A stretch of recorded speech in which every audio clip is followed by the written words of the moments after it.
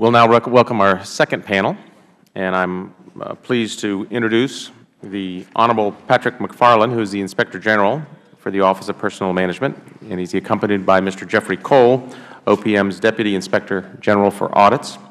We also have Mr. Tamburrino, who is the Deputy Assistant Secretary of Defense for Civilian Personnel Policy. We have Ms. Valerie Melvin, Director of Information Management and Human, Human Capital Issues for the Government Accountability Office. We have Mr. Patrick Manzo, who is the Executive Vice President for Global Customer Service and Chief Privacy Officer for Monster Worldwide. And we have Mr. Conway, who is the Senior Vice President and Chief Information Officer for Monster Worldwide.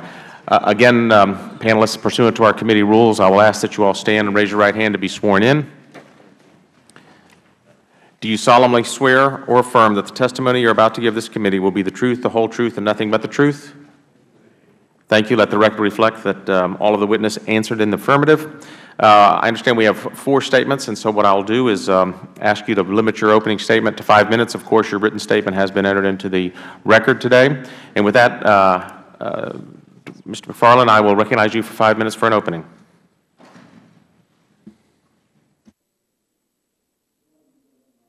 If, I can get you to yeah, push the, and go ahead and bring the microphone down there too. Thank you. Thank you. Good morning, Chairman Ross, Ranking Member Lynch, and members of this subcommittee. My name is Patrick McFarland, and I am the Inspector General of the U.S. Office of Personnel Management. Thank you for inviting me. I will be discussing how OPM implements and utilizes IT policies and systems on an agency-wide basis. The first issue that must be examined is how OPM develops its IT systems. Building an IT system must be done in a very deliberate, structured, and methodical manner that takes budgeting, development, and subsequent maintenance, testing, risk analysis, and security protections of the IT system into account. Such processes are important because it is easier and much more efficient to invest the time and resources necessary to develop the right procedures to use going forward than it is to go back and fix problems after they occur. In our estimation, OPM has encountered difficulty in this area because it sometimes lacks the needed dedicated expertise to properly oversee the development of agency IT systems projects. I know that the subcommittee is particularly interested in the recent in-house implementation of USA Jobs 3.0. We too have concerns, but we have not yet had an opportunity to review OPM's implementation process. Therefore, during the fiscal year, we intend to conduct two audits of the USA Jobs system. The first audit, for which we are already planning, will evaluate whether appropriate IT security controls exist to minimize the risk of security breaches.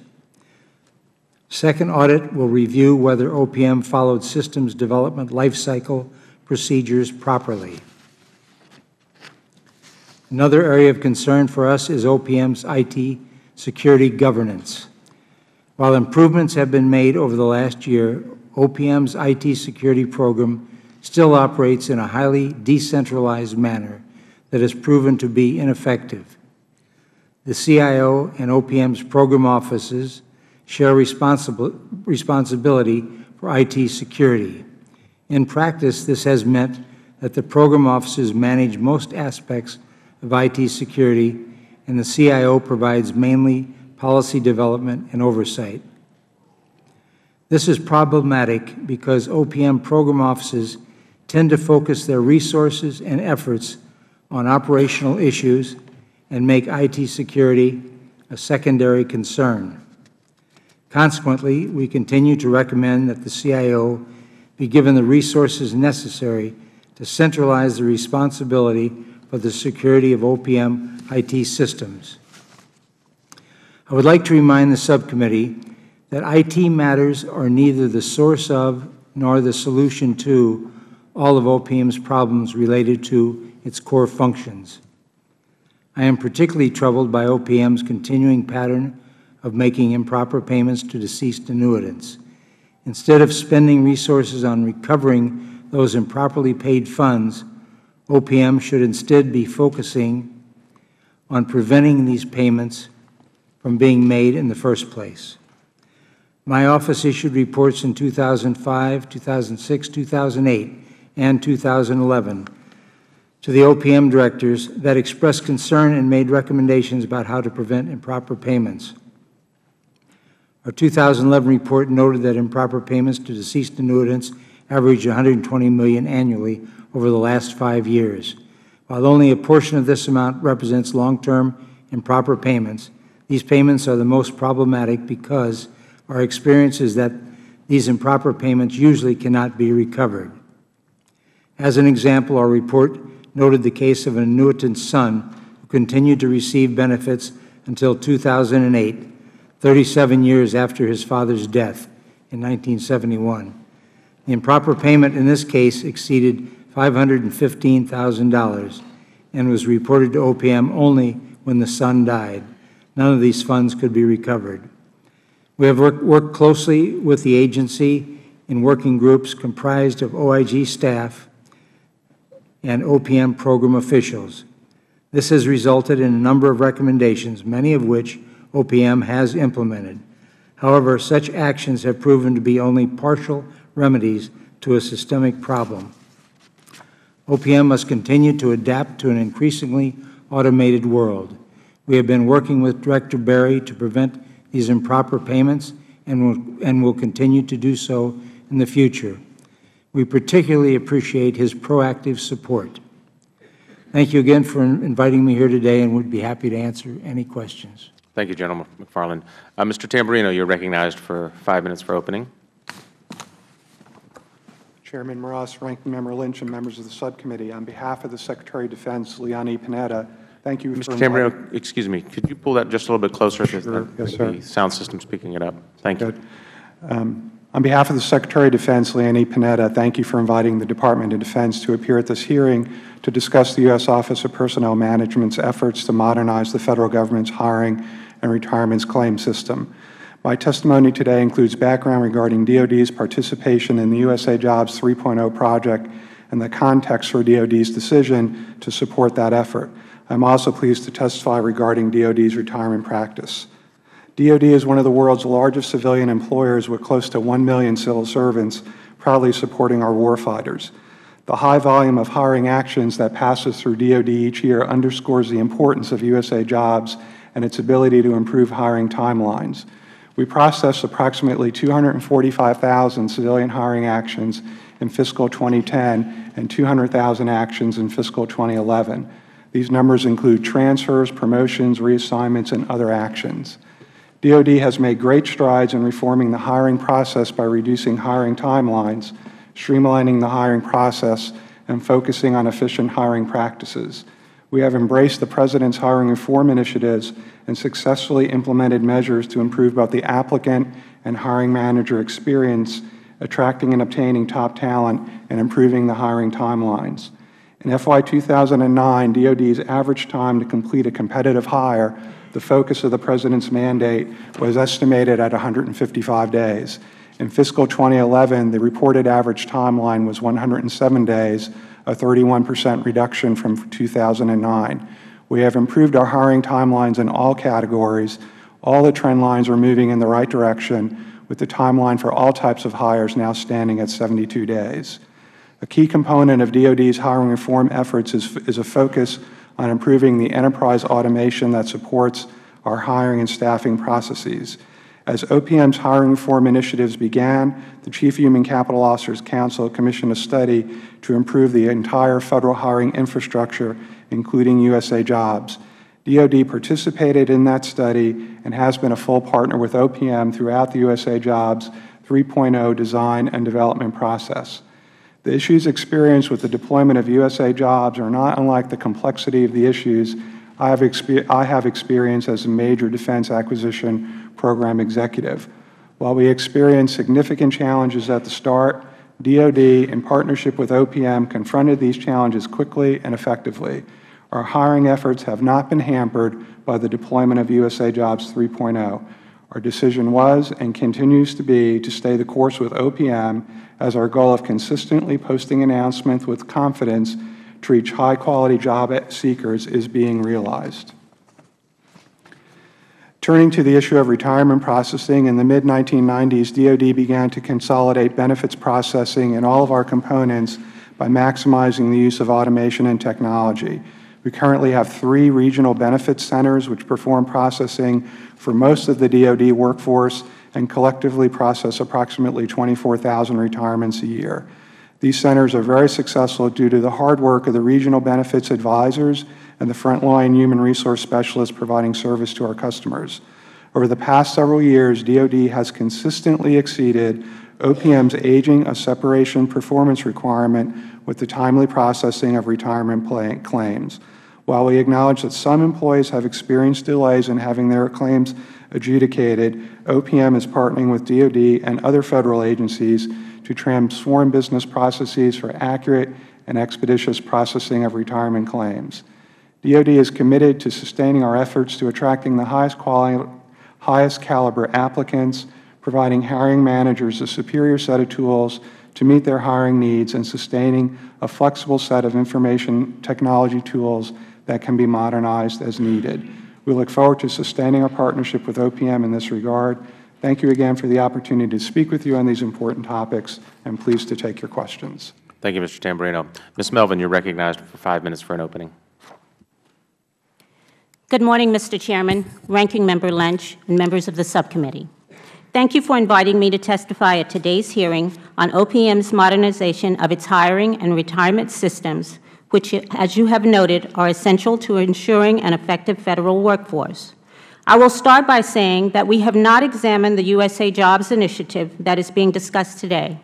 However, we have previously issued several reports on OPM's initiatives to modernize its retirement processing capabilities, and at your request, I will briefly summarize our findings from those reports. Over approximately two decades, beginning in 1987, OPM attempted to modernize its Federal employee retirement process by automating paper-based processes and replacing its antiquated information systems. However, its efforts were largely unsuccessful, as, been, as has been noted. Our studies found that the agency was hindered by weaknesses in a number of important management disciplines that are essential to successful IT modernizations. These included project management, risk management, and organizational change management.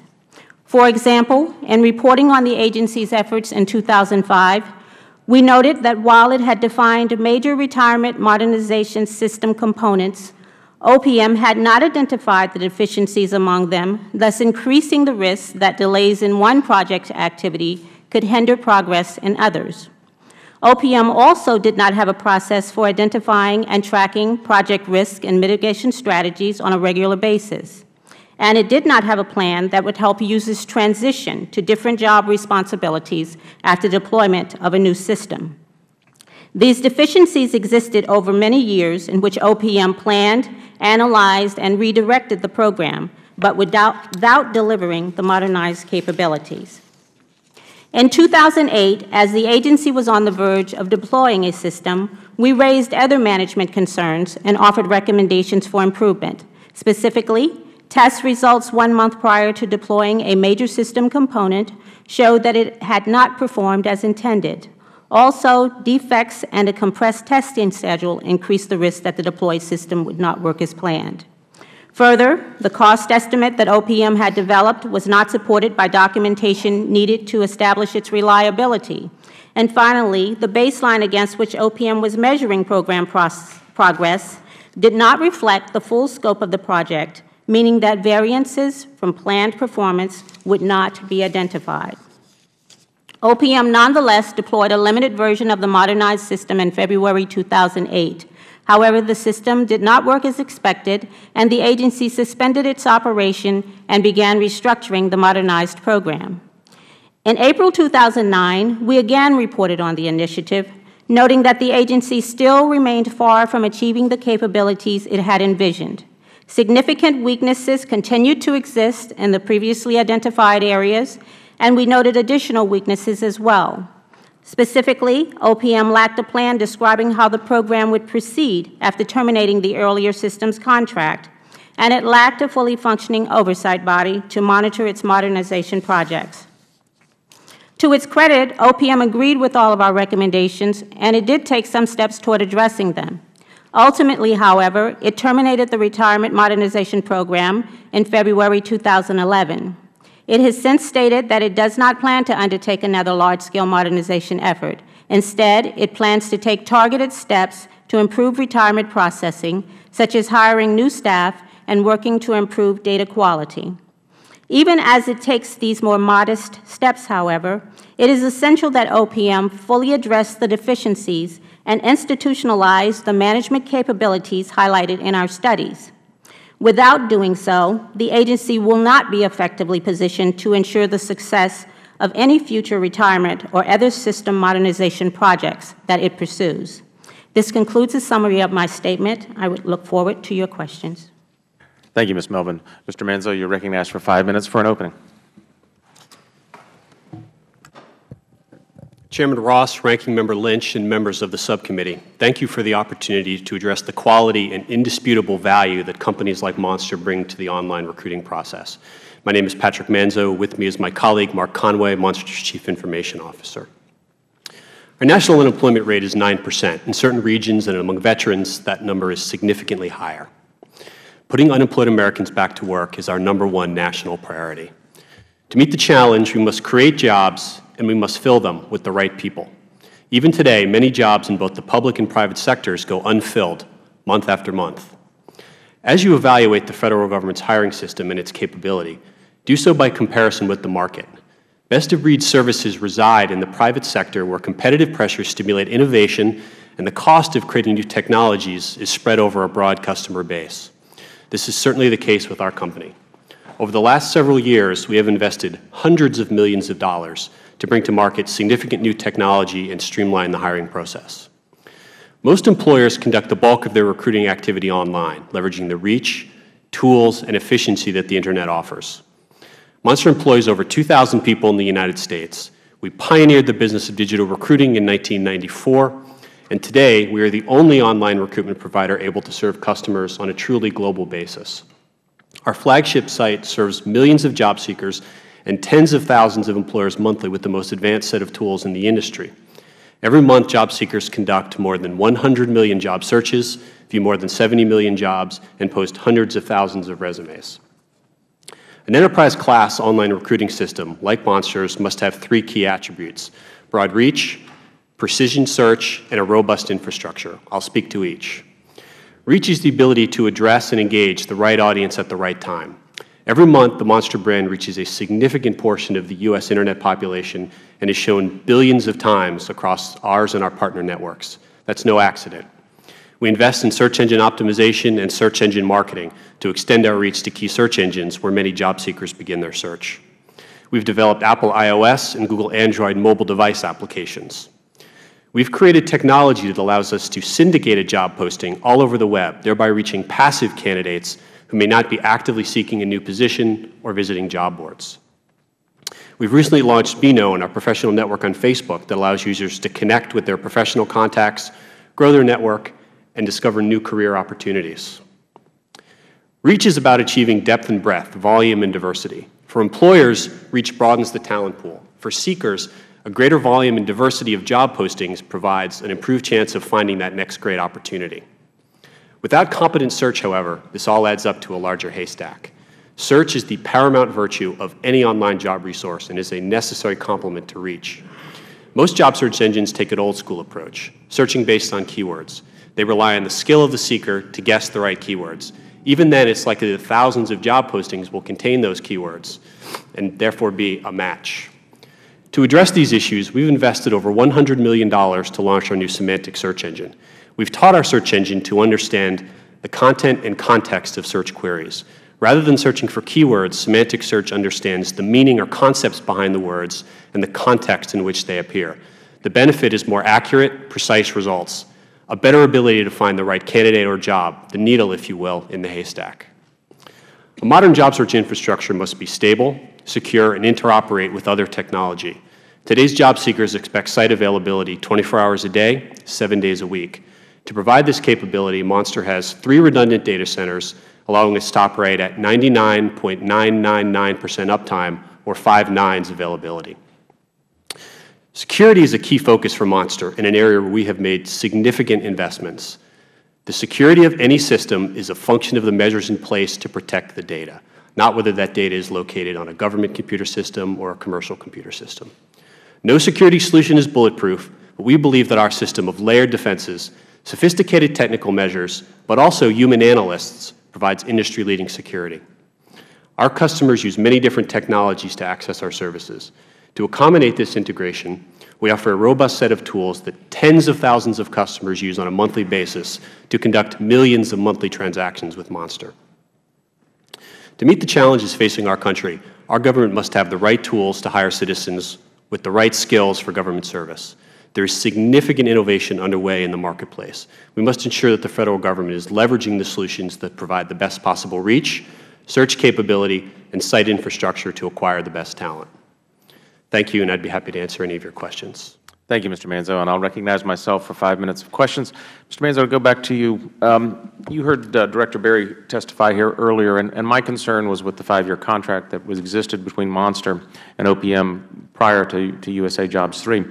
And my biggest concern was flexibility. It appeared as though, according to Director Berry, that there was no flexibility to, to, to make modifications or to adapt to any changes. Is that your understanding? Uh, Mr. Chairman, that is not my understanding. I'd like to ask my colleague to speak to the details of that. Please, Mr. Conway. Yeah, so um, during the course of the contract, uh, we made uh, numerous enhancements to USA Jobs working in conjunction with OPM. One example of that is uh, we redesigned and relaunched the site in uh, January 2010 which is a, a new look and feel uh, and, and uh, simply new functionality for USA Jobs, working in conjunction with OPM. And that, that was done as a, as a renegotiation to the original contract? No, that work was part of the base contract. So there was no change in cost to OPM as a result of that? No. It was all part and parcel of the intended agreement? Correct. Okay. Uh, now, Mr. Manzo, do you all have a, um, a market research department? Uh, we do have a research uh, department. And that would, that would want to know what the end users are seeking and how best to perform the service that, that, that they're seeking? So we do, we do a lot of work in, the, in this regard. Uh, what I can tell you is that we do regular market surveys of our customers, both employers and job seekers. Uh, and that's important, isn't it? Well, that's how we know if we're doing a good job or not. Correct. And, and with regard to whether the resources that you're using are adequate, I assume you have a research and development department as well. Uh, we have a product and technology division that, as I mentioned previously, we, we spend several hundred million dollars a year in, year in order to develop and bring to market new products to upgrade our site infrastructure. And you can handle over, uh, uh, how many did you say, 100 million uh, uh, applicants? Every, uh, every month, uh, we will we will visit we will uh, host about 14 or 15 million unique visitors to our site. Those folks will conduct about 100 million searches. They'll view about 70 million jobs, and they'll post hundreds of thousands of resumes. These are these are monthly averages. And would it be safe to say that that, that Monster.com is the largest uh, human resource um, applicant uh, search engine out there? Uh, we believe that uh, if you look at this from a global perspective, that, that we are the largest and most significant in the world. And in leading up to the change to USA Jobs 3, Monster was providing this service for OPM. Was there any problems at that time as to the service you were providing that you're aware of? Uh, if you're asking about uh, during, the, during the period, I mean, I think that we overall provided a service that served the Federal Government's needs. Um, we're proud of the job we did. And, and, and to hit on this, because you raised it as one of your significant points, is security. And I think that, that the security issues that have been raised by members up here are that, well, you're, you're, you're maybe uh, susceptible to hacking, whereas the Federal Government won't, which I, I think is, is, is not necessarily correct. But I also understand that the security breaches that occurred with Monster were self-reported and self-corrected. Is, is that correct? Uh, well, Mr. Chairman, so I'm, I'm, glad that, you, that you've raised the issue. Um, Chair, uh, Director Berry is correct that those matters are matters of public record. Um, they are matters of public record in large part because we did a lot to put them into the public eye. Um, in each of those cases, we proactively reached out to Federal Government agencies, in this case the Federal Trade Commission. We also spoke to law enforcement agencies.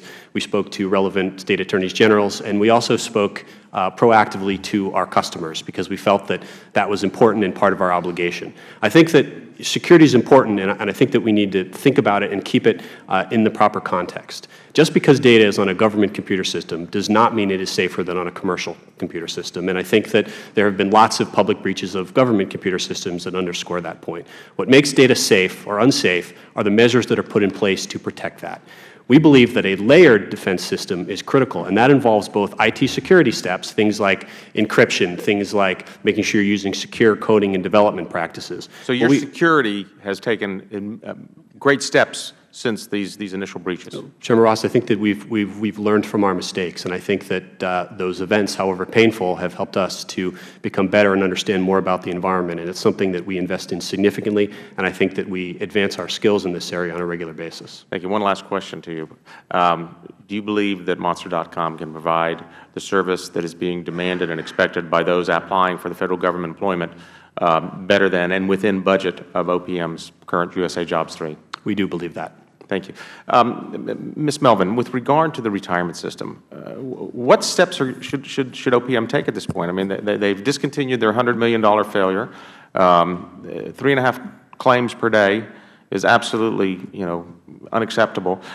Do you have any recommendations uh, that, that, that they need to take initially to try to automate this and reach a point where they can get caught up and not have to worry about being so backlogged uh, and inefficient? Well, first of all, I'd start by saying that I think it was uh, actually a good step for OPM to step away from the modernization effort that it was undertaking. After 20-plus years, it obviously was not working, and it obviously uh, indicated that there are underlying um, deficiencies in the approach that they were taking. Our biggest concern has been that, I, that OPM lacks an overall um, management structure, if you will, IT management capability in terms of the fundamental uh, tools or mechanisms for really planning and managing. Uh, in the first panel, one of the points of discussion was about the need for OPM to uh, develop a plan for moving forward.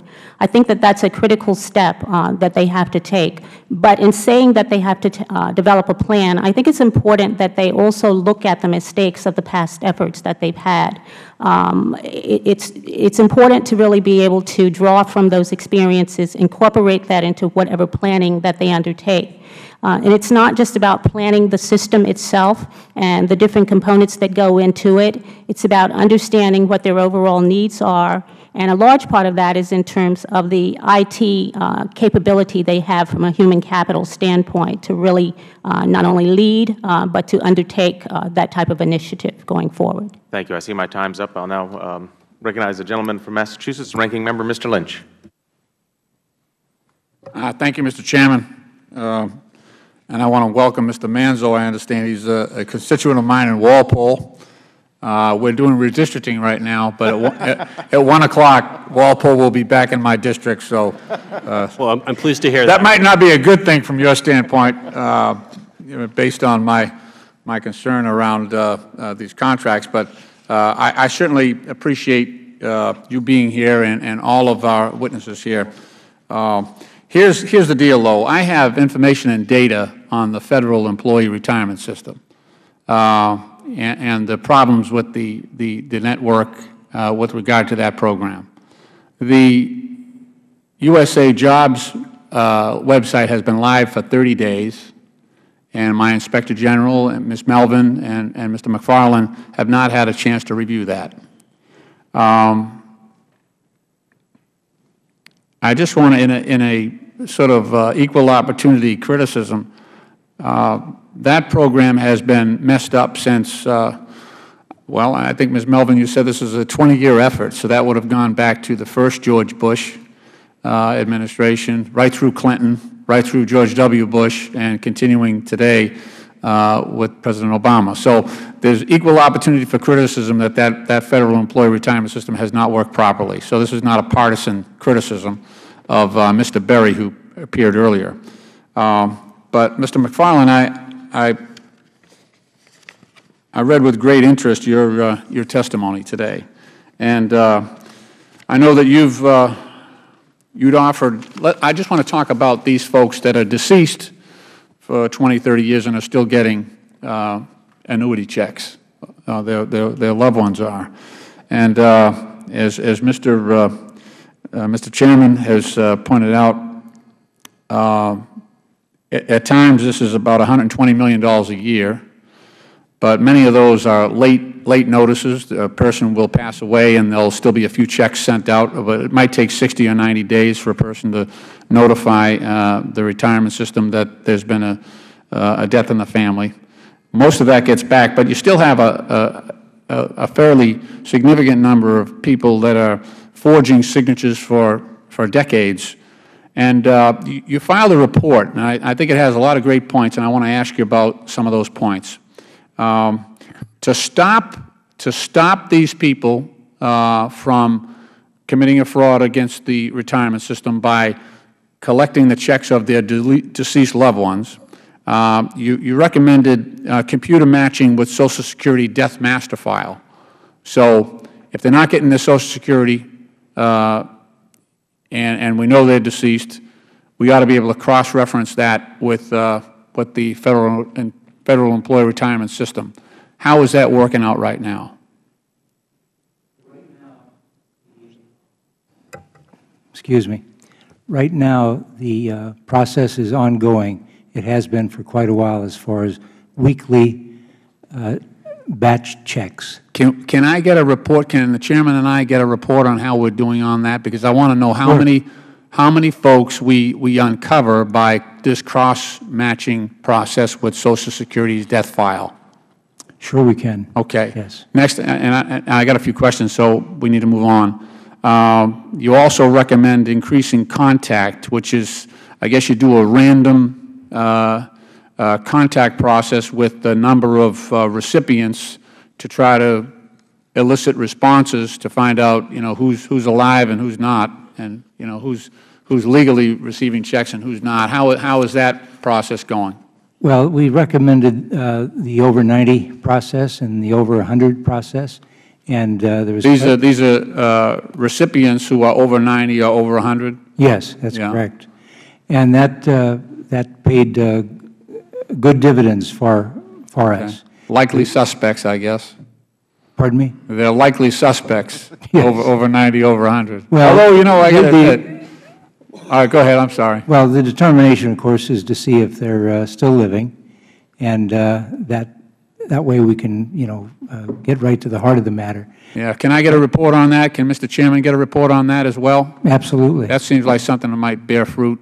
Sure. Um, If I can continue, you also recommended an analysis of undeliverable correspondence. So you mail something out, and it comes back. Yes. Uh, 1099, is that what you're doing? 1099Rs, yes. Yeah. And when they come back, well, right now, there's a, there's a uh, backlog of 33,000 that have been returned. Wow. And the process to go through that is, uh, well, it's just not being attained. Yeah. Is there any way we could use some resources from the post office to, to sort of confirm that, or, or is there anybody else? 33,000, that's a lot to go through.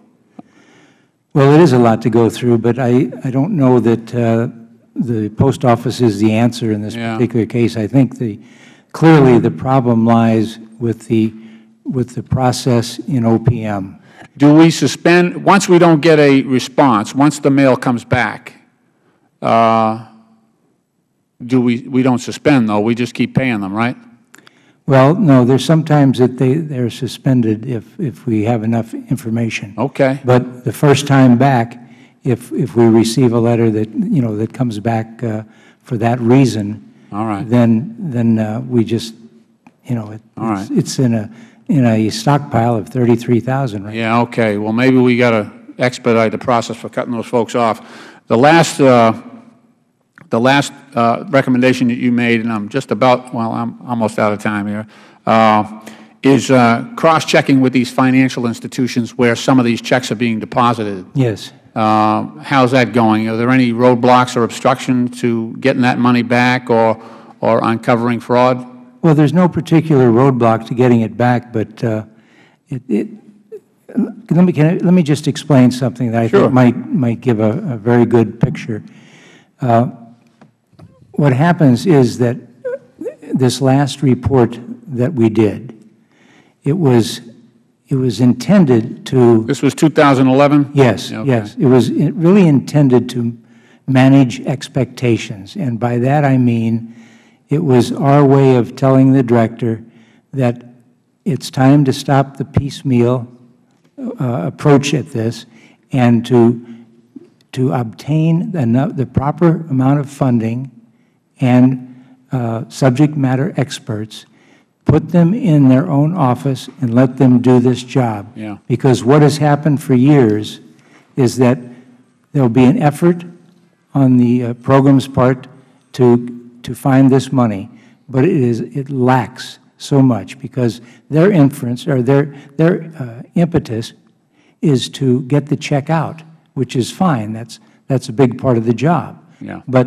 there's very little, in, very little inclination to work busily to, to uh, recover the funds. So it has to be, it has to be a, a, a new program area that is dedicated to that. That has come, come to us after just so many attempts to, to piecemeal this thing together, and it just Okay. isn't working this way. All right. Mr. McFarland, thank you very much for your hard work and your testimony, and I appreciate the indulgence of the Chair. Thank you. No- No problem. Uh, Now recognize the gentleman from Michigan, home of the Detroit Tigers, Mr. Walberg. And I must admit, the Lions, uh, even with the last couple of games. Uh, Thank you, Mr. Chairman. Um, Following up on the the last few statements of Director Berry, I'd just like to ask uh, uh, comments from uh, Mr. McFarland as well as uh, Ms. Melvin. Uh, Director Berry stated that all metrics are moving in the right direction for USA Jobs 3.0. Do you agree, Mr. McFarland? Well, we, we haven't had time to review the implementation. But what we're, what we're planning to do, we're going to do penetration testing. That's, an- that's an audit group that we're bringing in, a specialized group to do this. And then, and then we're going to do systems development life cycle review by ourselves. So So once we do that, we can answer your question, but right now I can't. Ms. Melvin, are the metrics going the right direction? We too have not looked at USA jobs. Uh, I would- I would say, however, that uh, metrics are extremely important, and it will be critical that there be metrics such as uh, Mr. McFarland has indicated in place. But I couldn't tell you at this point uh, how effective the ones that they have are. I can say, however, that it would be extremely important for them to articulate specific metrics and be able to report on the success of those metrics. Okay, Mr. Manzo, any comments on that from your professional position there? Mr. Walberg, uh, I, I'm not in a position to assess or, or verify any metrics that OPM may have related to the performance of USA Jobs, so unfortunately I can't comment. Let me, uh, let me ask you then, uh, Mr. Manzo uh, or Conway, uh, either one, in your professional opinions, what should uh, ideal private-public uh, partnerships look like relating to the federal government IT? Well, I'll, I'll, I'll take a, I'll take a stab at that, Mr. Walberg. You know, I think that it's clear that best-of-breed services reside in many cases, particularly in technical areas, in the private marketplace, and that's because there is significant commercial competition. Um, there is much broader customer bases over which to spread the cost of developing these new technologies. What the government needs to do is they need to go and they need to figure out what is the best technology and how do we apply this technology to get the best results for the lowest cost. Now, Director Berry has made the point that there are certain things that are inherently governmental. Um, we don't think that hosting the federal government's hiring system falls into that category. Um, we think that the private sector is eminently well suited um, to do this job and to do this job uh, cost effectively, efficiently, and to provide significant continuing value going forward. Uh, in terms of developing one of these systems and in terms of looking at the cost, we need to look not only at the cost to set it up and the cost to run it, but we need to look at the continuing research and development costs to make sure that that system keeps pace with development and new technologies as they're available. And that's where the private sector comes in best? That, that would be our belief, yes. Ms. Ms. Melvin, uh, you stated in your testimony that uh, OPM agreed with your recommendations on the retirement system, yet they did not implement those recommenda- recommendations. Why didn't they? We actually had about 19 recommendations, and um, they were specific to the retirement system modernization. And in fact, they began to take actions. They agreed with all of those recommendations, and they did begin to take, begin to take some steps toward addressing them. Uh, for example, uh, in the 2005 timeframe for our study, uh, we had noted some concerns with, for example, security planning and requirements. When we came back in 2008, we saw that they had taken some actions, uh, and that's one example example. However, um, the bigger concern uh, that we have is that the types of recommendations that we made, while they were driven by our work looking at the retirement systems modernization, are actually um, recommendations that apply more broadly. I mentioned in my previous statement uh, that it's important that they have underlying uh, IT management capabilities uh, and controls in place. And uh, across the 19 or so recommendations that we have made, uh, they constitute fundamental aspects of having strong IT management. What we did not see was the capability of the agency to move in the direction of actually getting a robust and institutionalized management capability in place that would incorporate the various aspects of IT management that we noted. But again, any reason why they didn't move fully in the direction that you uh, you recommended? That, that would actually be a question that's probably better posed to OPM. But what I can say from our work was that we saw them trying. We did not see, however, uh, necessarily the capability there uh, in terms of their really uh, having a strong understanding, perhaps, of what were some of the, the uh, deficiencies, uh, the, the, implications or the significance of the deficiencies so I would assume that, that, cap that capability still isn't there. We haven't been in since uh, 2009 to look at it, but across our follow-up work, um, we, we've seen that they have attempted to make some changes. Uh, for example, when we were doing our work in the 2008 timeframe and, and before, uh, the, the Chief Information Officer was not a part of the overall efforts that were being made to put the retirement systems modernization in place. We saw that individual standing on the outside, so to speak, of the process that was being undertaken. Uh, when we were there in 2009, however, the CIO, uh, that, that the current CIO, was a more active player. We did see them taking some steps to uh, put in place, for example, or, or, to have their oversight body, I should say, more actively involved. Uh, but I would be cautious uh, because we've not looked, and, and I would not want to imply that they have a full capability at this point to move forward uh, based on our past work. Thank you. I see my time has expired. Thank you, Mr. Walberg. Now recognize the gentleman from Illinois, Mr. Davis, for five minutes. Thank you very much, Mr. Chairman. Um, as a result of budget cuts, many agencies have announced plans to offer early retirement and buyouts to employees, including the Postal Service, NASA, Internal Revenue Service, Government Accountability Office, and the Department of Defense and its subcomponents such as the Army and the Air Force. Uh, Mr. Tamburrino, could you tell us how many positions has the Department of Defense offered for early outs and buyouts, and how many more early retirement and buyouts does the Department of Defense anticipate offering in the next year? Uh, Mr. Congressman, thank you for that question. I will have to get back to you with the exact numbers. All the components have the authority to offer VSIP VERA right now. We can uh, provide for the record what the actual take rate is to date um, for fiscal 2011 and what is planned for 2012.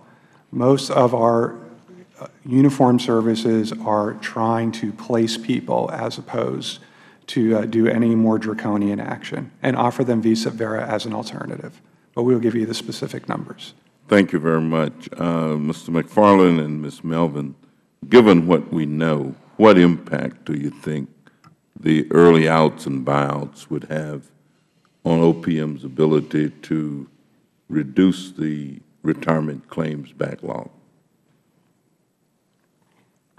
Based on what I heard today, uh, I would say that any future increases in the retirement backlog would only stand to um, continue to make their effort much more difficult uh, in terms of, of, of, processing the claims that they have. Um, I agree with that, sir. And then let me ask, um, would you think that OPM might need additional resources to handle the, the workload to clear these up? My work has not looked at their um, programmatic, if you will, IT, uh, uh, excuse me, programmatic human capital resources. Uh, it's focused only on the information technology aspects of what they've done, so I don't have information to really uh, provide a response that I think would be credible. Thank you. Um, Mr. Tamburrino, let me ask you, do you think that the agencies themselves should pay for the, the, the activity to clear these up? Or might there be some other way to, to get the resources? Mr. Congressman, thanks for the question. We share the concern for the delay in processing retirement. I have suggested to Director Berry um, some alternatives for how to do this. I look forward to talking with them, him about that more. As far as a fee for service, that is not a cost-sharing agreement that is foreign to the Department of Defense. If it was supported by a customer service agreement as to what we could expect uh, and a level of performance that we could expect, I think the Department would engage in that conversation. Thank you very much, uh, Mr. Chairman. I yield back. Thank you. Uh, The gentleman from Virginia, Mr. Connolly, is recognized for five minutes. Thank you, Mr. Chairman.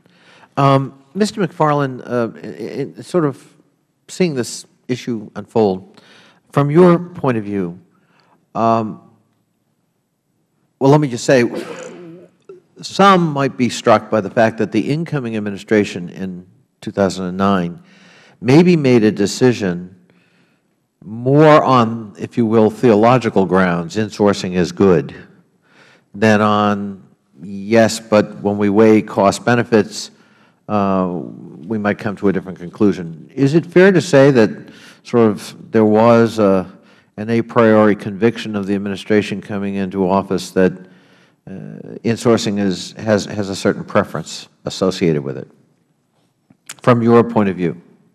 Well, from my point of view, would, would simply be from news and newspapers.